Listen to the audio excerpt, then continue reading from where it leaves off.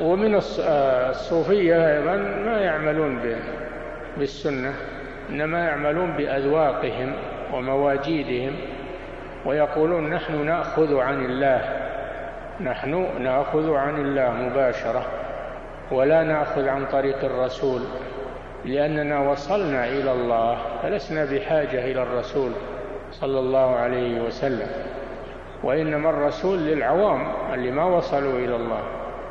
وهذا من أبطل الباطل وأقبح الكفر والعياذ بالله. نعم.